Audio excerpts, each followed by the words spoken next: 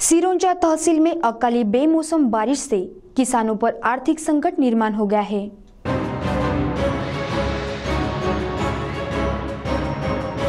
सिरोंचा तहसील में बेमौसम बरसात से धान, मिर्ची और कपास उत्पादक किसान पर आर्थिक संकट का बोझ।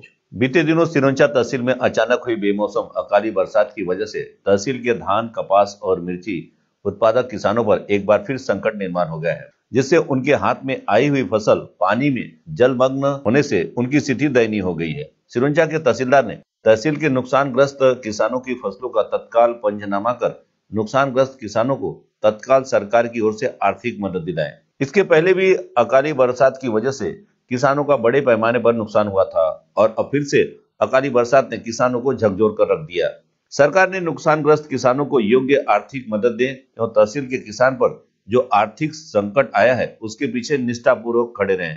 इस संबंध में प्रभारी तहसीलदार सैयद से नुकसान के विषय में भ्रमण ध्वनि द्वारा संपर्क करने पर तहसील के सभी मंडल अधिकारी व तलाठियों को सर्वेक्षण करने के लिए कहा गया है और आंकड़ा आने पर उन्हें इसकी जानकारी दी जाएगी, ऐसा कहा गया है। सिरोंजा से हमारे संवाददाता संदीप राजचलावर की रिपोर्ट।